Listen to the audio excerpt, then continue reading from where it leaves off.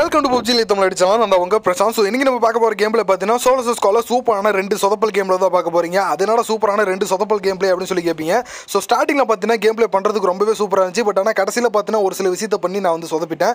அதாவது பார்த்தீங்கன்னா ரொம்ப நாள் கேப் எடுத்து கேப் எடுத்து நான் கேம் பிளே பண்ணுறதுனால எனக்கு அந்த மாதிரி கை வந்து ஃபாஸ்ட்டாக மூவ் பண்ணுறதுக்கு வரலையா என்னன்னு சொல்லி தெரியல.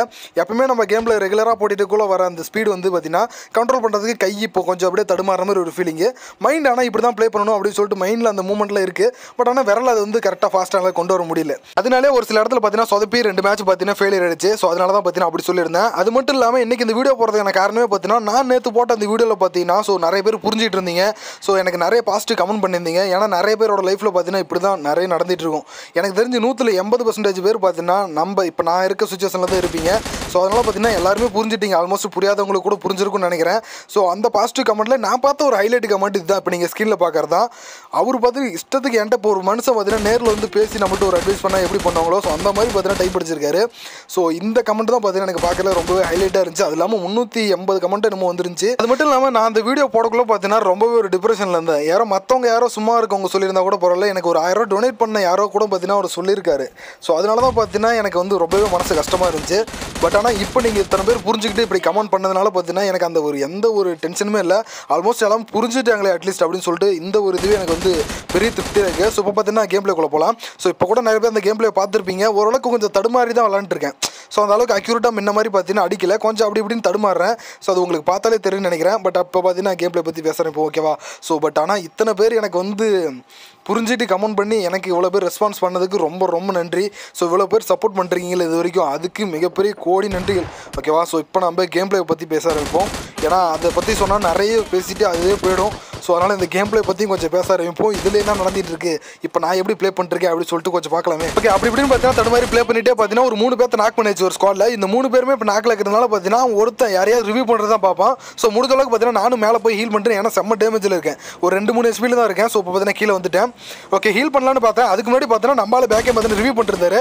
அப்படியே அடிச்சு பார்த்தீங்கன்னா ஒரு ஸ்குவாடை பண்ணிவிட்டாச்சு எம் சிக்ஸ்டிலே ஒரு ஸ்குவாடை பண்ணிருக்கோம். இதில் ஹைலைட்டான மூமெண்ட் என்னன்னா எம் சிக்ஸ்டீனில் வந்து எஸ்டோல் கே பிளேயர் வந்து அடி வாங்கி செத்து போயிட்டான். ஸோ அதுதான் பார்த்தீங்கன்னா இருக்கிறதுல ஒரு ஹைலைட்டு அந்த ஹைலைட்லாம் தாண்டி பார்த்தீங்கன்னா நான் கடைசியில் சாவும் பாருங்கள் அது ரொம்ப பெரிய ஒரு ஹைலைட்டு ஸோ கொஞ்சம் வெயிட் பண்ணி பாருங்க. கொஞ்சம் கூடி சீக்கிரத்தில் நான் செத்து போயிடுவேன் இந்த மேட்ச்சில் சரி ஓகேன்ட்டு பார்த்தீங்கன்னா அவங்கள்ட்ட தேவையான லூட்டெல்லாம் அடிச்சிட்டு வந்து மேலே சென்டர் பில்டிங்கில் வந்து ஃபுல்லாக ஹீல் பண்ணிட்டு உட்காந்துருக்கேன் ஸோ கீழே ஒரு பாட்டு மேய்ச்சிட்டு இருக்குன்னு நினைக்கிறேன். சேம் டைமில் பார்த்தீங்கன்னா பக்கியில் இங்கே ஒருத்தன் வந்திருக்கான். ஸோ இந்த இடத்துல பார்த்தீங்கன்னா ஒருத்த மட்டும் தனியாக வந்திருக்கான் அடுத்து. ஸோ ரெண்டு மூணு அடி அடிச்சோடனே பார்த்தீங்கன்னா வீட்டுக்கு முன்னாடி போய் மறைஞ்சிட்டான். ஸோ மறுபடியும் நான் இந்த வாளுக்கு பின்னாடி பார்த்தீங்கன்னா படுத்துக்கிட்டு அவன் என்ன தான் பண்ணுறான் அப்படின்னு சொல்லிட்டு கொஞ்சம் பார்க்கலாமே அப்படின்னு சொல்லிட்டு இந்த இடத்துல நின்று பார்த்துட்டு இருக்கேன். நம்மள கிரேனேட் இல்லை. ஸோ இங்கே வந்தால் கூட நம்ம வீட்டு மேலே யாருக்குள்ள கிரேனேட் போட்டு சாப்பிடலாம்னு நினச்சேன். பட் ஆனால் நம்மள்ட்ட கிரேனேட் இல்லை. ஸ்மோக் மட்டும் தான் இருக்குது இந்த ஸ்மோக் வச்சு அவனை பயங்காட்ட முடியுமா அப்படின்னு சொல்லிட்டு பார்த்தீங்கன்னா இந்த இடத்துல ஒரு பிளான் போட்டுட்டு பட் அவன் ஏதோ ஒரு டைமில் மிஸ் பண்ணுவான். ஸோ அதாவது அண்டர்ஸ்டாண்டிங் இல்லாமல் பார்த்தீங்கன்னா ஏதோ தடுமாறுவான். அப்போ பார்த்தீங்கன்னா ஈஸியாக அடிச்சிடலாம் அப்படின்னு சொல்லிட்டு பார்த்தீங்கன்னா நான் அந்த இடத்துக்கு வெயிட் பண்ணிருக்கேன் ஸோ பொறுமையாக இருக்கணும். ஏன்னா ரொம்ப நாள் கழிச்சு விளாட்றோம் ஏறி பூந்து அப்படியே டப்புலாம் அடிச்சு தூக்கிட முடியாது. ஸோ கொஞ்சம் வெயிட் பண்ணி பார்க்கலாமே அப்படின்னு சொல்லிட்டு பார்த்தா வெயிட் பண்ணேன். பட் அந்த அளவுக்கு பார்த்தீங்கன்னா ஃபாஸ்ட் வர மாட்டேது டக்குன்னு ஏன் அடியிலும் நினைக்கிறேன். அந்த கையை வந்து பார்த்தீங்கன்னா ஒரு செகண்ட் டிலே பண்ணி அப்படி தான் வந்து எனக்கு ஒர்க் ஆகிட்டு இருக்கு. ஸோ ஒரு ஸ்மோக் தூக்கி போடுவோம். பயந்துட்டு எங்கேயே வரட்டும் அப்படின்னு சொல்லிட்டு பார்த்தீங்கன்னா ஒரு ஸ்மோக் தூக்கி போட்டிருக்கேன் மேலே. ஓகே தலைவர் அதுக்கேற்ற மாதிரியே பார்த்தீங்கன்னா மேலே ஸ்மோக்கை போட்டோன்னே கிடுக்குன்னு விடையாரு ஸோ உடனே எதுக்கு இப்படி நட்டிட்டு என்னான்னு தெரியல. அவனை பார்த்தீங்கன்னா டேரக்டில் ஸோ அவன் டீமெட்லாம் ஆல்ரெடி செத்து போயிட்டான் லட்டுது இவன் மட்டும் தனியாக வந்து நம்மள்ட்ட படியும் செத்து போயிட்டான். ஸோ இப்போ கீழே போய் தேவையான லூட் அடிச்சிக்கலாம் அவன்கிட்ட போய் அப்படின்னு சொல்லிட்டு பார்த்தீங்கன்னா இங்கே ஒரு லூட் அடிக்க வந்துட்டுருக்கேன் ஸோ இன்னொரு ஃபுட் ஸ்டெப்ஸ் வந்து பார்த்தீங்கன்னா கீழே கேட்டுட்டு இருந்துச்சு. அது வந்து பாட்டாக தான் இருக்கும். பட் இருந்தாலும் பார்த்தீங்கன்னா இந்த இடத்துல பார்த்தீங்கன்னா நான் எதுக்கும் செக் பண்ணிக்கலாமே சொல்லிட்டு அந்த பாட்டு இருக்கான் பார்க்கலான்ட்டு பார்த்துட்டு இருக்கேன். பட் ஆனால் இந்த இடத்துல ஒரு பாட்டுமே காணும். ஸோ இப்போ பார்த்தீங்கன்னா நமக்கு தேவையான லூட் எடுத்துலான்ட்டு எடுத்துட்டு இருக்கேன். இவனோட பாக்ஸ்லையும் பார்த்தீங்கன்னா சொல்லிக்கிற அளவுக்கு ஒன்றும் பெருசாக லூட் இல்லை. ஸோ இதை கிடச்சது பார்த்து நான் எடுத்துட்டு மறுபடியும் இந்த பில்டிங்கோட மேலே போகிறேன் ஸோ வேறு யாராச்சும் இருக்காங்களா? அப்படி சொல்லி கொஞ்சம் வெயிட் பண்ணி பார்க்கலாமே அப்படின்னு சொல்லிட்டு இந்த இடத்துல பார்த்தீங்கன்னா லைட்டாக வெயிட் பண்ணி பார்க்குறேன். ஓகே நமக்கு முன்னாடி பார்த்தீங்கன்னா இந்த பில்டிங்கில் அது ஆப்போசிட்டில் அந்த ரெண்டு பில்டிங் இருக்குல்ல அங்கேருந்து ஒரு பாட் ஒன்று வந்துச்சு.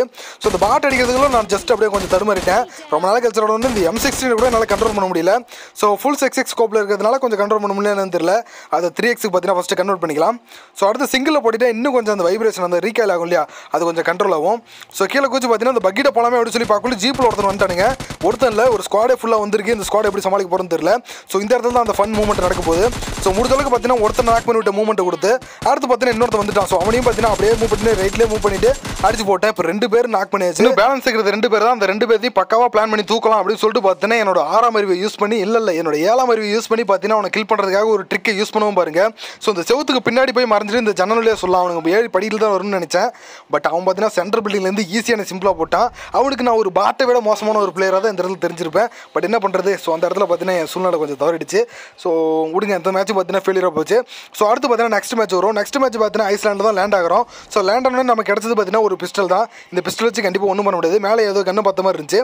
உடனே பார்த்தீங்கன்னா மேலே வந்து ஒரு எம் சிக்ஸ்டின் எடுத்தாச்சு. ஸோ எடுத்துட்டு பார்த்தீங்கன்னா இந்த இடத்துல லைட்டாக ஹோல்டு பண்ணி ஒரு நேரம் உட்காந்துருந்தேன் ஸோ கரெக்டாக ஒரு பேக்கே வந்தாப்புல தலை தலையே அடிச்சு பார்த்தீங்கன்னா இவனு நாக் பண்ணியாச்சு.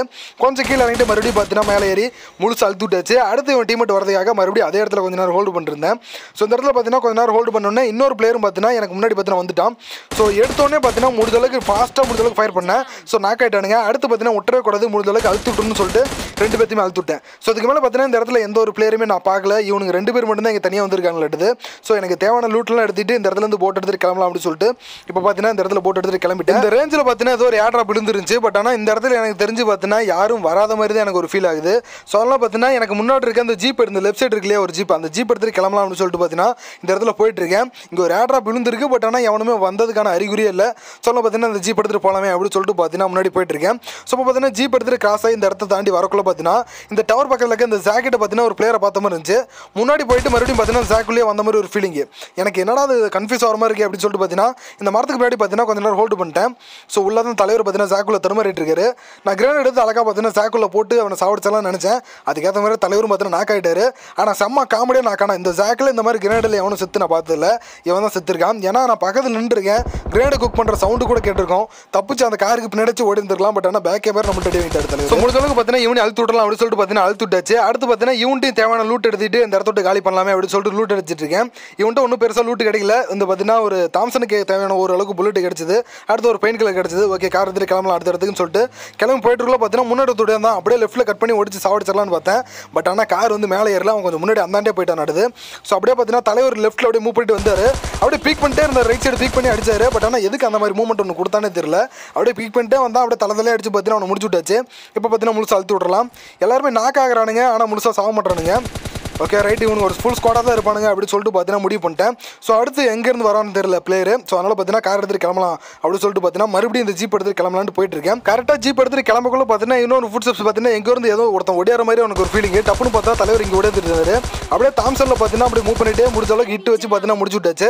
இப்போ பார்த்தீங்கன்னா மூணு பேர் இந்த ஸ்குவாடில் காலி. ஸோ அங்கே ரெண்டு பேர் இங்கே ஒரு மூணு பேர் மொத்தம் அஞ்சு கிலோ வந்திருக்கு.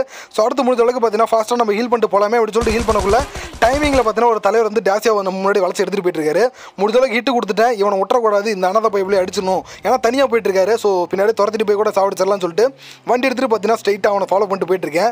இந்த வீட்டுக்கு பின்னாடி தான் போயிட்டு பார்த்தீங்கன்னா தலைவர் எடுத்திருக்காரு கவர் ஸோ எப்படியும் பார்த்தீங்கன்னா இந்த வீட்டுக்கு மேலே வருவான். அந்த காரை இங்கே குத்தி நிறுத்திட்டு கிரேனடை கையில் எடுத்து பார்த்தீங்கன்னா இந்த ரூமுக்குள்ளே போடுவோம். குரட்டா முடக்கா போட்டு அவன் செத்தா நமக்கு லக்குதானு சொல்லிட்டு கிரேனட் எடுத்து மேலே குக் பண்ணிருக்கேன் சேம் டைமில் பார்த்தீங்கன்னா போகிற டைமிங்கில் பார்த்தீங்கன்னா பின்னாடி இருந்து எனக்கு ஒரு ஸ்ப்ரே பார்த்தீங்கன்னா எவனோ அடிக்கிறாங்க அளவுக்கு பார்த்தீங்கன்னா ஃபாஸ்ட்டாக அந்த வீட்டுக்குள்ளே போய் கவர் எடுத்தானோ இல்லைனா ஸ்ப்ரேல தூக்கிடுவானுங்க. ஸோ முடிஞ்ச அளவுக்கு பார்த்தீங்கன்னா நான் உள்ளே வந்துட்டு ஹீல் பண்ணிருக்கேன் ஃபஸ்ட்டு பேண்டேஜ் போட்டு அடுத்து பார்த்தீங்கன்னா எனர்ஜி ட்ரிங்க் பெயின் கலர்லாம் போட்டு எனர்ஜி ஃபுல்லாக ஏற்றிக்கிட்டு அதுக்கப்புறம் பார்த்தீங்கன்னா மேலே இருக்கணும் புழக்கலாம் அப்படின்னு சொல்லிட்டு பார்த்தீங்கன்னா ரெடியாக தயாராக இருக்கேன்.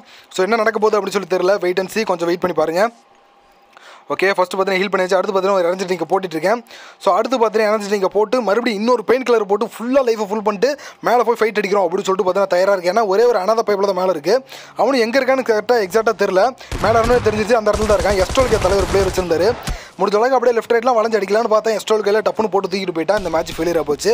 ஸோ இதோட இந்த கேம் பிளேவும் எண்ட் ஆகுது. நாளைக்கு ஒரு இன்ட்ரெஸ்டிங்கான ஒரு கேம் பிளேவில் உங்களை மீட் பண்ணுறேன் பை